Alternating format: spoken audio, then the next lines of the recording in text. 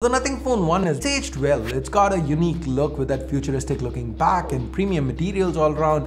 It's got Gorilla Glass 5 protection to both the front and back and the sides are made out of metal. The 4500 mAh battery on the inside, it's held up quite well. With the Android 13 update, it has neither gotten better nor worse. For what it's worth, my cameras haven't picked up any scratches, though the oleophobic coating seems to be long gone. The secondary is a 50 megapixel f2.2 ultra wide.